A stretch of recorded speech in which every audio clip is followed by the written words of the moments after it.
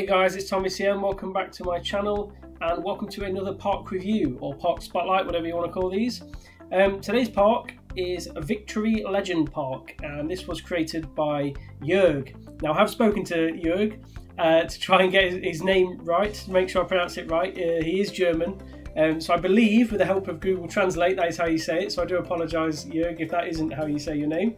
Um, and the description of the park uh, was written in German, so again, I've used Google Translate to see what see what the description was, and it translates to a small, realistic, as good as it gets, built park with three themed areas and a shopping mall.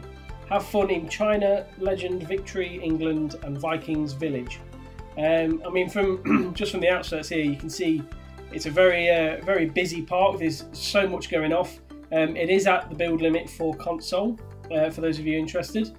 And uh, yeah, I mean, I'm excited to see uh, to see what he's put into the park. So, um, something different from the usual entrance to the parks here, we have a road going in. So, we'll take the road in rather than going into the spawn tunnel. Now, obviously, on console, well, on, on any Planet Coaster, the guests don't actually use the cars. Um, so this is just for decoration. Uh, so here, obviously, we've got a road welcome and welcome in English. We've got the Planet Coaster statues here, followed by a car park. Got some signs here, parking place, parking place. Here we are, created by Jörg or, or, or Jörgi, I believe his, uh, his nickname is. Um, it's got the opening hours, so it opens at 9am and closes at 9pm. And over here we've got some VIP spaces. Uh, you may recognise the names of a few, a few of these creators. These are some of the people that um, I've done reviews of their stuff. Um, some of the uh, some of the best stuff on the PS4 Workshop. So uh, yeah, you, you may you may recognise some of their names. Um, a lot of extremely talented creators there. Uh, there's the actual spawn tunnel where the guests come out of, um, and then they will just uh, appear through the wall here. Um, but obviously, to, to make it realistic looking, he's blocked that off, which I think looks fantastic. The, the road system, and I, I, love these little banners here. I, it just looks really nice. Um, but yeah, unfortunately, the guests don't drive into the park. They do. Uh, they do just spawn there. As you can see, this couple walking through. Um, they will just walk through the wall here and into the entrance plaza. So we have some ticket booths. Welcome to Victory Legend Park. Some very nice little decorated um, decorated plaza here with the with the planters and the little fencing going around it. Really nice, uh, really nice little detail. You've got entrance one, two, and three there. Again, uh, I, I, love I love the symmetry. I love how I love how you know each one um, is a mirror image of the others. Uh, we'll go through entrance three today, I think. Uh, and then here you go. You've got Victory Legend Park. Uh, over here, you've just got a toilet block in this little building. Uh, nice little fountain as well. And you've got park information and fast line tickets and an advertising board and a first aid centre. So yeah, absolutely everything you need from a entrance plaza. And again, it just it just looks really nice. Um, it's got music playing. The music works really well. Yeah, just all around. And obviously you get a view there of the coaster in the background, which I think looks really nice as well. So we shall go to the left, and judging by the theming here, we've got China's legends. So let's go. Uh, let's go into this section. So straight off, we've got a railway going through. Again, I um, I reviewed uh, Thomas Freak's Hyde Park recreation, which had a railway going over the path. I think it looks really good. And then obviously he's got these he's put these warning signs down as well, which is a really nice sort of realistic touch to it. Uh, what we got here? Be careful, train.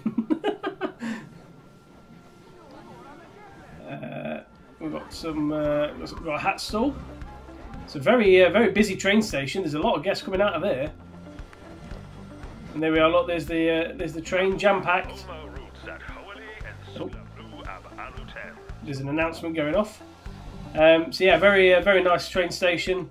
Obviously, he's using the uh, using the Chinese um, and Asian style buildings from the World's Fair pack, which always look fantastic. Really nicely, uh, really nicely themed. We've got souvenir shop, Red Dragon. Uh, we'll have a look in here. It's the on-ride photo. So that that's the ride exit. So I will uh, we'll go through that when we come off. So the train is called Victory Express. Balloons. And I want to try and get onto this coaster really. Uh, let's zoom out a little bit and we'll go around this way. Follow this path. So this is the other entrance back to the park. We've got a toilet block here. Again, be careful train. Again, I, I love how the train interacts with, with the path. I, I have said it before. I'd, I'd love it if you could put a, a, proper crossing in so the guests would stop, but unfortunately not. Uh, Red Dragon, China's Condor, Victory England, Black Knight, and Mittelalter Mark. I think is that how you say it. Uh, we'll keep going around the uh, keep going around this way. There's the station to this coaster. I feel as though I'm leaving China there. So here's the uh, here's the entrance to a red dragon. Some uh, nice use of the statues there. The, uh, even the staff members dressed all in red. Wow, I, I love I love the planting going over the uh, going over the top there. That's really uh, you know it makes you really feel you know part of it. You've got a nice cattle pen queue line. Got a bit of a fast pass queue, so we'll, we'll join that and we'll go around the edge. Back into here. And then we'll join the queue and go up here. Excuse me coming through. Right so we have got not bad we've got Red Dragon uh, which is a Giga Coaster. Uh, they're the stats fantastic stats for a coaster green across the board. There's the G-forces. Tad high on the vertical but not massively. Um, so uh, yeah, we'll, we will hop on and uh, see what this is like. We'll uh, we'll go we'll go on the we'll go on this train so that we get the uh, get the full experience. So let's let's just speed it up till this uh, this train starts to leave. Three, there we go. Right, let's go.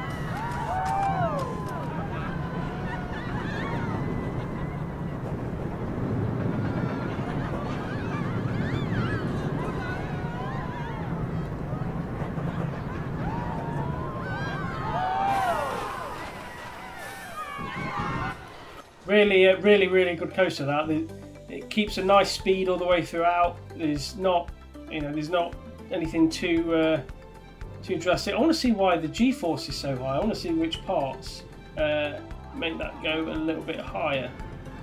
Um, no, not live data. Previous one. Ah, so it's there. That's that's where it is on that first that first drop. I think. Other than that, there's a little bit on this bend here. But that first drop, maybe it's too, because of the speed it's going down and then goes back up, it's a bit too steep so sudden. But again, it's not. It doesn't register on the on the excitement scale. The the stats are green across the board, so it's really not something to worry about in the game. Um, it's just if you were going on that in real life, you wouldn't want it to be that high. That's all. But yeah, it looks absolutely fantastic. Um, I missed this waterfall actually on the uh, on the entrance. That's that's a nice little uh, nice little effect. Uh, I missed that going in the fast pass. See, it's not, it doesn't always pay off to go on the fast pass queue. Um, so yeah, that is that was Red Dragon. Nice, uh, nice start to the coasters, and we shall go around here. We've got uh, that's the balloon store we were at. We've got a uh, nice little parasol um, flat ride just here. Very busy ride. A lot of people want to, want to go on that. China Sun. Oh, I wonder why there's a crowd around here. This geezer's here, look making everyone laugh. Uh, so let's carry on. China Garden Tour. Ooh. Go through, uh, go through this nicely decorated queue line. It's a vintage cars ride. We shall. Uh, is it just a circuit, or is it going a bit more? Oh no, it, it, goes over like a bridge and then goes back down. Really, really nicely decorated garden. I love, I love this little uh, statue bit here. That looks really nice. And then the, the planting is done, um, done in a nice manner to make it. It's not too repetitive. It just, it just fits right. Um, yeah, really, uh, really busy ride that is. A lot of people, uh, a lot of people clearly like that. So uh, yeah, top, top job on that. A lot of this planting. This is my, this is my favourite piece of of planting is this uh, Scaevola, um, because it, it, just it just looks so good anywhere you put it. Um, if you just want to make the ground look a little bit different, um, it just it just works so well, and you can stick it anywhere. You can stick it like, you know, stick it onto rocks, stick it, um, and even earlier when we was in the queue and it was on the it was on the top, it just yeah it just works so well. Um, right, we're going to Vikings Village next. So let's uh, see what's on offer around here. I might just use the different camera mode just to get everything right. Uh, so we've got a hot dog stand. Yep, hot dogs. Nice little seating area. Grill steaks. Gulpy. Nice little shopping and, uh, and food area there. Nice and very very realistic sort of uh, sort of layout at the side of side of an attraction, but not in the way of like where people would be queuing. Uh, so that's the exit to what appears to be a wooden coaster. Oh, what we got here? Loki's Fluke, Fluke, Loki's Fluke, which is a uh, which is a spinning flat ride like that. Uh, and we shall go down here to Valhalla. or Valhalo, however you want to pronounce it. Uh, this is the this is the queue line again, nicely decorated. It's got the bushes here to break it up a little bit. It's one of these quite realistic cattle pen queue lines, and then you go up. That's a really nice station layout. You you see, you tend to find this a lot in real life parks. You have these like wooden beams going across, rather than just having like a flat roof. Um, so this works really well. I mean, you can see, you know, that it's in all individual pieces uh, being put together there to make it. So yeah, you've got to appreciate the uh, the time it took to get that right, and it, it just looks fantastic for it. Um, so we shall hop on to the coaster. No, we don't, don't want to look at Bernardine. We want to get on the coaster, which is a, a standard wooden coaster. Again, green across the board. Really good at getting those stats up high. Uh, G-forces are G-forces are fine. Maybe lateral is a little bit high. Lateral you want to aim about three, and vertical about six. So yeah, lateral maybe a tad high, but not nothing to worry about really. Um, so yeah, we will hop on and see what uh, see what this is like. Blimey, it's a thirty thousand guests. Wow, busy ride. Let's hop on into train two and see what this ride is like.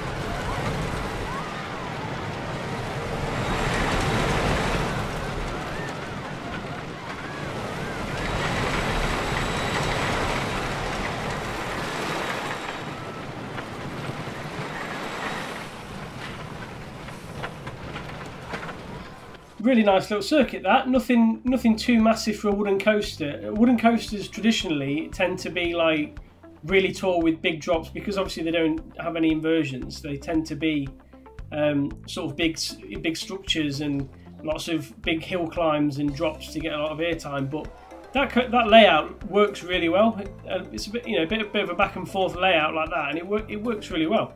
See it's got the uh, it's got the pirate ship crashed in the middle which is a nice piece of decoration.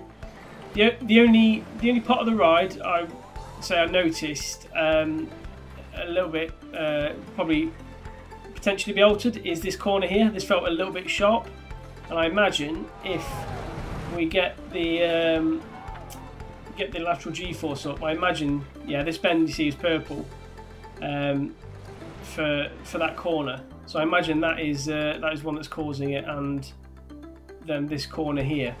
Um, but again, nothing. You know, it's not it's not that big. Uh, you know, you, are to have some G-force on there. So yeah, I can't really uh, can't really fault that whatsoever. It's uh, just as a perfect coaster, and it fits nicely in the corner of this park here. So we shall go out of the exit down here. That's the flat ride we saw earlier. And we're crossing that railway line again. Be careful, train. Odin's Fall Tower. Oh, is this it? See that, that that's nice having the having the base for the drop tower coming out of it like that. I think that looks for, uh, I think that looks really nice. Um, the nice little wooden structure with the windows on. Um, Trying to look what this what this structure is actually. What piece is that? So it's the interior of a haunted house, and it it, it, it actually works really well. To be fair, around the uh, around the those two sides. So yeah, they are only on those two sides, aren't they? But yeah, no, that, that works really well. I think drop towers look look good from afar when they're dropping back into a base and they don't just like they're not just outside. I think that always improves the drop tower. They're very hard to get into a park and theme properly, um, but no, he's done a good job there. Uh, only for staff, so he's got a nice little staff room building there. There we go. We shall go by. Uh, what we got here? Blue Thunder. I think I just want to make sure I'm not missing out on anything. Uh, yeah, we'll, we'll go we'll go down to Blue Thunder now. So uh, we'll go down the normal queue this time rather than the fast pass. Got a lot of uh, cattle pen queues. Oh, I'm completely lost here. Hang on. I uh, I jumped too far ahead. go through here. Back through that way. And up. I've completely messed up the controls there. There we go. And we're in. it's got uh, oh these are like these are for baggage and rucksacks and, and bags and stuff so you can't take them on the ride which is really nice it's got um these these like yeah, I, an iron firebox. It's got like some industrial machines there. Got some nice music going off. It's a re really good little setting in here. It's got the wheels and the chains on the wall. Um, so the coaster itself is a launched vector coaster. Again, I mean, he's, he's really, really good at building coasters. None of the stats have been outside of green yet, so uh, it clearly takes some time getting the coasters right. Um, again, G-force a little bit high, but as, as I keep saying, it doesn't affect the ratings up here. So that all, all I mention that for is if this was real life, you wouldn't be able to withstand that amount of G-force on a coaster. That that's that's all I'm saying. That's all I'm saying that for. But you know the stats up here are what going to are what is going to get guests onto the ride. So that's all that matters really. So we will go on and see what this is like. Blue Thunder.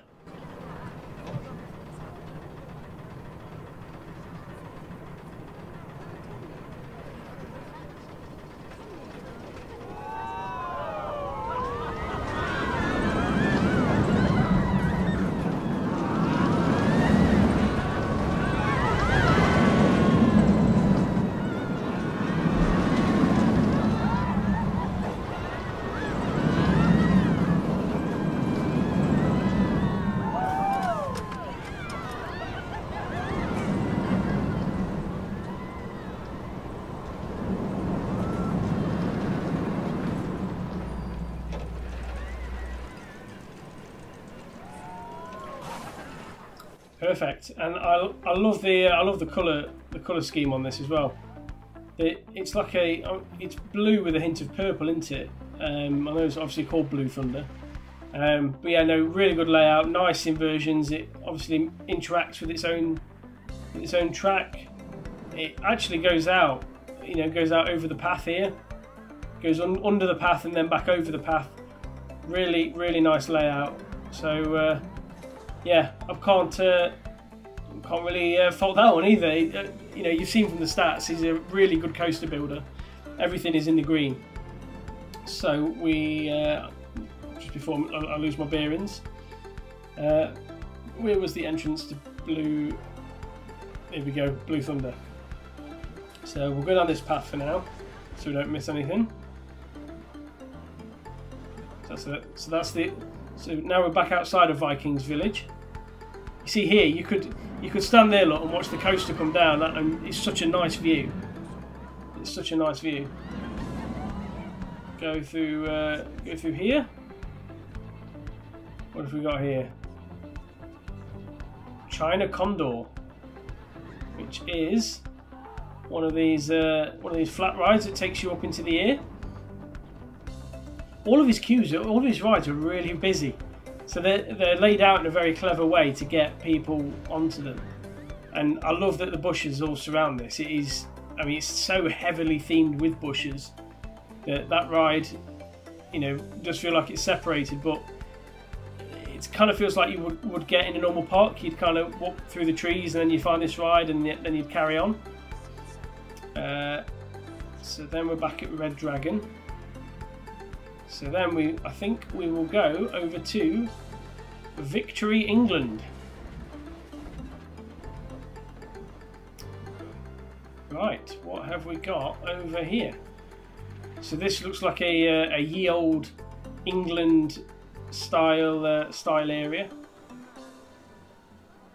Uh, I'm not going to mispronounce that that again. really, uh, well, well, this is a very nice very nice area. I mean, look at look at the scenery around this chair swing. It just the whole thing just looks really really nice. Nice use of the pat nice use of the patterned walls. Um, very nice use of the of the Union Jack flag. Victory Legend Park. You got the shops down there. What we got in here? You've got a, got a fortune teller and a cash machine. Let's get people going in there. You've got all the shops. Look, Monsieur Fritz. Professor Verse, Gulpy. Really nice area. And then the queue line is obviously built into this. And I love the fact that the path is all underneath. So the surface here is um, is just the a concrete flat roof. The path is obviously built underneath the uh, the roof. So if you take away that, you can see the queue line path there, and that's where it starts. And but the fact that it blends in like that and the guests go through this fence here, it just looks it just looks really nice, um, and really you know really realistic as well. So yeah, really uh, really nice to see. So we've got a first aid building as well. Nice nice use of planters and benching. And again, there's so so many different trees down here.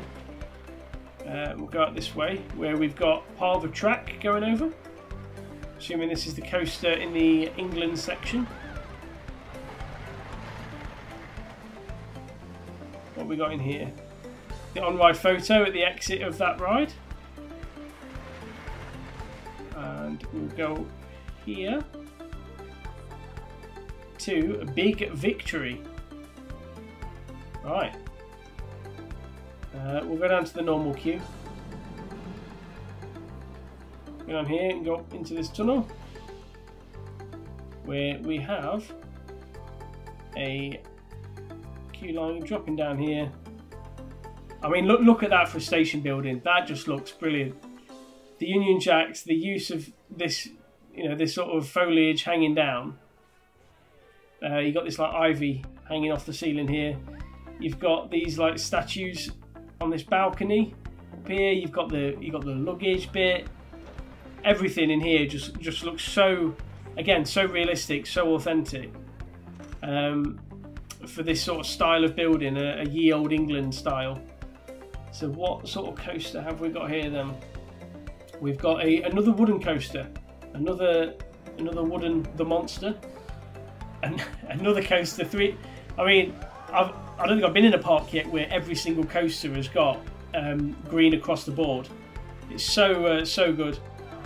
Uh, lateral G-force bit high, vertical's absolutely fine. Um, and there's the rest of the stats if you're interested. So we shall hop on and see what Big Victory is like. Whenever, and even the operator is built into her own little cabin, which again, ni nice little realistic touch. So yeah, let's see what Big Victory is like.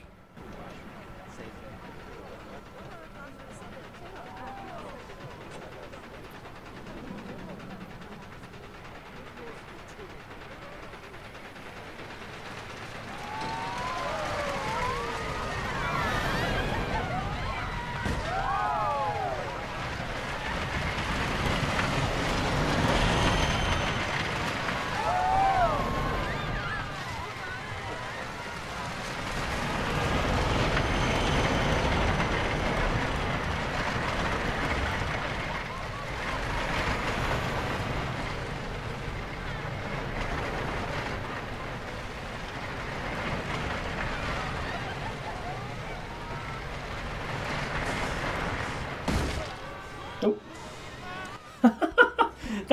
That, that, made me jump. I, I wasn't expecting that as I came in there. You got these you got these wooden beams here that just collapse as you as you come through the track there. I don't know whether you noticed that, but uh, yeah, that, that made me jump as I was watching that coming through. Um, really, uh, really good coaster. You can see the uh, you can see the layout of it up here. Um, goes you know goes around it goes around um, and interacts with a lot of different areas. It obviously loops underneath the uh, Blue Thunder ride, and again, is he? Um, yeah, he's put he's put these steps in there, look, to uh, to be you know realistic with it. You can see they're they're not part of the track, so yeah, nice uh, nice realistic touch there. So you can see if obviously maintenance were coming in, they would use that, but um, yeah, really uh, really nice to see that. So, by looks of it, is that yeah, we, yeah, there's another coaster in, in this England bit. So before we finish off, uh, I'll tell you what, we'll go to the shopping mall first and then we'll finish on this coaster right back near the entrance. So, where was the entrance to this? This was over, I want to say, it's down here somewhere, isn't it? That's, um, that's Blue Thunder. Here's the entrance, there we go. Big victory. And if we walk on the back of here,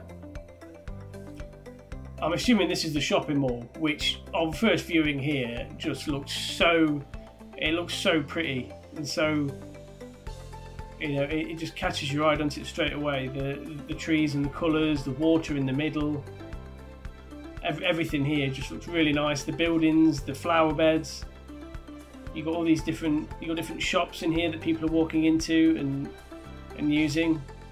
You got a restaurant, toilets, souvenir shop. It's like a show band, the barbershop quartet. Um, and then you, again, just a whole range of shops here. And to be fair, a lot of guests are coming back here to uh, you know to come and have a look at this section, which is really nice to see as well. So you've got a nice little uh, nice little entrance to it. Victory Legend Park Shopping Mall. Some nice fountains either side. But yeah, I, I just think as you come through that and you look at it, it just looks so nice. And I've not seen anyone put a shopping mall in. Obviously, people have put buildings with shops in, but not a specific designated area for shopping. So uh, yeah, nice unique little touch. Little Venetian carousel. This is probably the only ride in the park that hasn't got a busy queue. Um, but again, that, that kind of fits in this back corner anyway. Um, and that's the drop tower where we were at earlier. So we shall leave the shopping mall now. Say bye-bye to these guys. And we will head over to the final ride of the park. So if we go follow this path through, over here, I want to find the entrance to it first, which is just here. Souvenir shops. This is Black Knight, it's the entrance. And again, you got the staff member here, dressed all in black. I like the fact that he's put he's put these doors on. Obviously, on Planet Coaster, when you put an entrance queue, you have the little metal cylinders that kind of show you where the ride starts or the queue line starts. He's used the doors to block that, so it looks a really genuine entrance because they do kind of stand out like a sore thumb. There they are, look, they're the other side, but because you can't see them, it it looks it looks great. So uh, yeah, we'll go through here. Got a uh, got a fast pass queue, which I think we'll use this time. She's just going on the, the outside here. Nice big cattle pen queue line with a lot of decoration. And we've got a pathway up here. Keep going around. It's a very long queue line. There we go, that's the end of the fast pass. And we are into the station. So again, we've got a bit for baggage in a different layout this time. We've got a load of cobwebs on this bookcase. Um, obviously, it's called Black Knight, so there is uh, there is the there is the knight we uh, we're talking about. Nice use of the chandeliers here as well. Really nice, uh, really nicely themed building. The coaster is an infinite coaster. I mean, it's no surprise now, is it, that it's all green. All the stats are green. Uh, and we'll look here. Lateral G-force is a bit high. Vertical is fine. Um, and there's the rest of them if you are interested.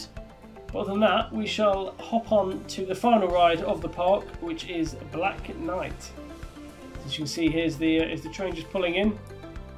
We will uh, we'll hop in, and hopefully, um, hopefully it won't be too long before we uh, we're allowed to leave. There's not many guests queuing up for this, which is why I'm uh, wondering if we're going to be sat here for a little bit. Speed it up. There we go. Through the gate. Oh, hello.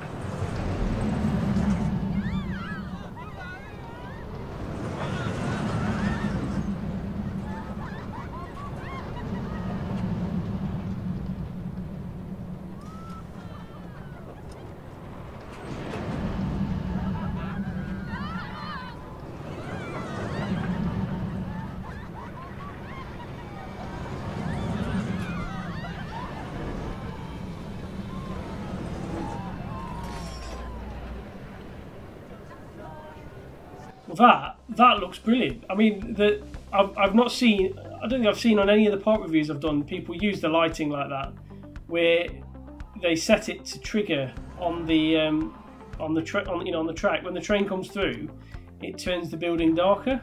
I Just want to see that again because that looked that looked really good. That took me by surprise. That did. There's a. Uh, uh, I, don't, I don't think it will show me without actually being on the ride. Um, but yeah, with, I mean, you saw, you saw there at the start when you're climbing the hill that it, um, you know, it turns all purple inside until you burst out. I don't think uh, riding this at night would have changed much. Um, obviously, you've got the lighting in there that's purple. You've got a couple of purple lights around here. Um, but uh, yeah, that, that was that was fantastic the way that lighting worked in there. Really, really nice effect. So yeah, that is, I believe, uh, if we head back to the main entrance, that is pretty much um, this park. There's the train station again. Some more Chinese restaurants. And we are back at the main entrance. So yeah, that was uh, Victory Legend Park. Um, very, very good park. In, I mean, insanely good coasters. You saw they were green across the board. Um, I mean, I can't I can't really fault the parking anyway whatsoever. As I say, the, the only the only thing maybe to look at is is the G-force, but that's if you sort of want to be realistic to the person watching it as opposed to the, the in-game stuff. If you want to get people on the ride in the game, then it's always about the green stats. So yeah, can't really uh, can't really fault the coasters at all. So yeah, I hope you enjoyed that. If you did, please leave a like uh, and subscribe if you're new. And if you've got a park or coaster you want me to look at, then uh, send me the details and I will. Um, and other than that, I shall see you in the next episode. Thank you for watching. Goodbye.